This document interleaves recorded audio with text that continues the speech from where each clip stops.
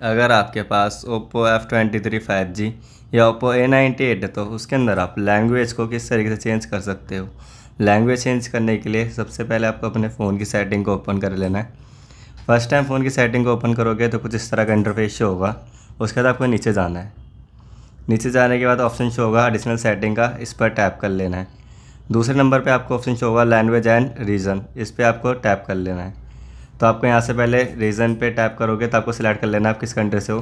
तो मैं इंडिया से तो मैंने इंडिया पे सिलेक्ट कर लिया है। उसके बाद यहाँ पर लैंग्वेज पे आपको एडिट पे टैप कर देना है। जैसे एडिट पे टैप करोगे तो अभी हमारा इंग्लिश है।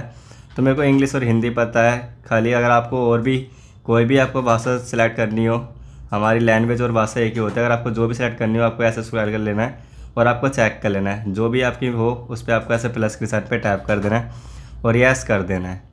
जैसे यस करोगे, आप देखते हो आपकी भाषा यहाँ पर चेंज हो चुकी है। अगर आपको इंग्लिश करना है तो ऐसे टाइप करके होल्ड करोगे, जो आपकी ऊपर रहेगी, यहाँ पर बदले अंग्रेज़ी।